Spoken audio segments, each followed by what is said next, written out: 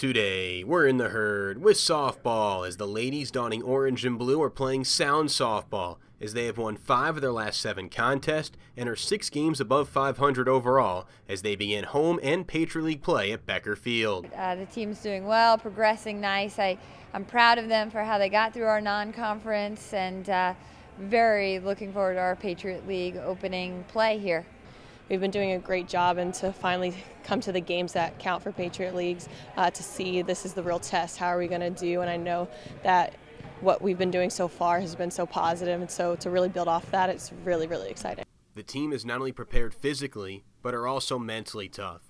And they've been utilizing a sports psychologist. This gentleman, Brian Cain's been working with a lot of colleges.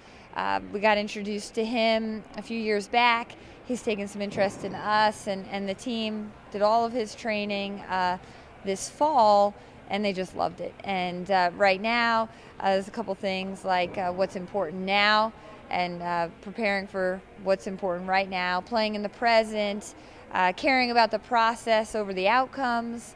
And, and definitely staying two feet ahead at all times. The most consistent player to date is two way threat Amanda Fazio. She has started all 26 games and is second on the team, hitting at a tremendous 413 clip while boasting a 10 4 record on the bump with a very respectable 3.20 ERA. I think I've just my approach to the plate is a lot different. Like um, once you start getting on a roll with hitting, a lot of that comes with confidence, and I think just putting the ball in play for me uh, last year was really well was a really good thing, and so now I'm working on you know putting the ball in play and getting on base, and once that starts rolling, you know it just really builds up and, and you see success. So Fazio earned a second team All Patriot League selection her freshman year, but that was in large part due to her pitching. She has made an interesting adjustment since her sophomore year. After my freshman year, I hit right handed. Um, and then after my freshman year, towards the end, we decided we'd switch me to the left side and try slapping. And so a lot of last year was really getting used to slapping and, and getting used to putting the ball down and running as fast as I could to first. So um,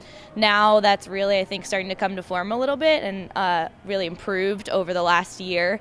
And it feels like I've been hitting left handed for a while now.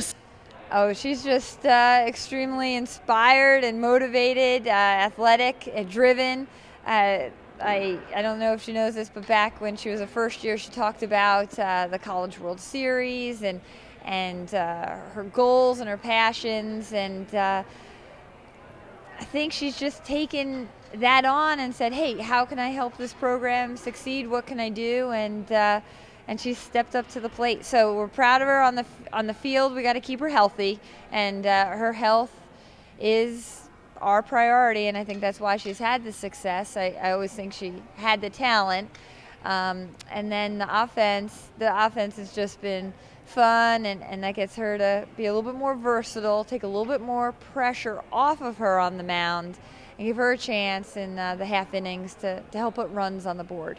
Fazio thinks there's a distinct benefit to being a dual threat player.